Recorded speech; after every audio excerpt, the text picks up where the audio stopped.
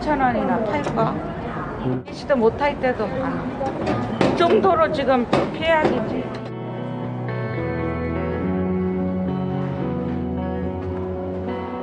좀 앞에서부터 여기까지는 지금 외국인들 상대로 그러니까 장사하던 곳인데 인건비 때문에 차라리 닫는 게 낫다 그래갖고 지금 3월 1일부터 해서 3월 한 달간 안 나오기로 했어요.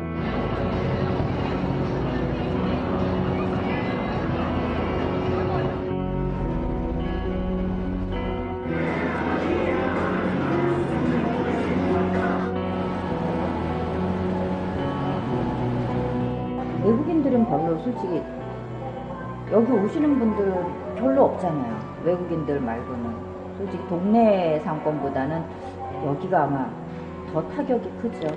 동네 상권이야 뭐 오시는 분들 꾸준히 안 나와도 그러니까 10분 중에 뭐 한 대여섯 명이 안 나온다 그래도 4명은 나오실 거 아니에요. 근데 지금 여기 같은 경우 외국인 안 오죠. 내국인 없죠.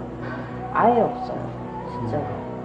정말로 계시가 없잖아요. 아, 저희는 뭐 이제 뭐 소상공인 어쩌고 그러면서 뭐 매출 작년에 10% 떨어진 사람들 매출 그 대출해준다 어쩐다 그러는데 택도 없어요. 10%가 뭐야? 10%를 100에서 10%가 될까 말까 한번 아예 문 안 여는 게 차비들이고 바깥보다 낫다고 생각을 하니까 문을 안 열어버리는 거예요.